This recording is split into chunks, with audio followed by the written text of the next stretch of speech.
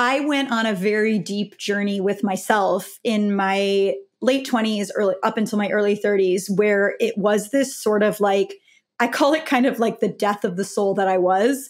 Um, I felt that I sort of went through this like decomposing process that was very, very painful for me. Um, but when I finally stopped, as I call it, bouncing on rock bottom with that, I came out in this space where I felt like I was in the most expansive space I'd ever been in in my life, the most peaceful space I'd ever been in in my life.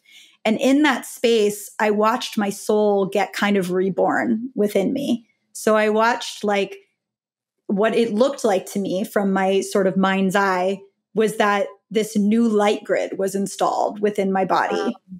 And so what that sort of taught me was that our souls are sort of like the intermediary world between nothingness and somethingness.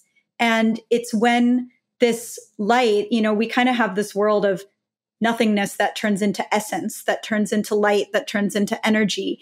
And as it's going from something to, you know, to be presented in human form, as we are, the first step is this sort of dynamic light grid that gets created that each person's is wildly unique. No one person's soul is the same. And it's obviously all from the same source of light, and yet it expresses totally differently in each person.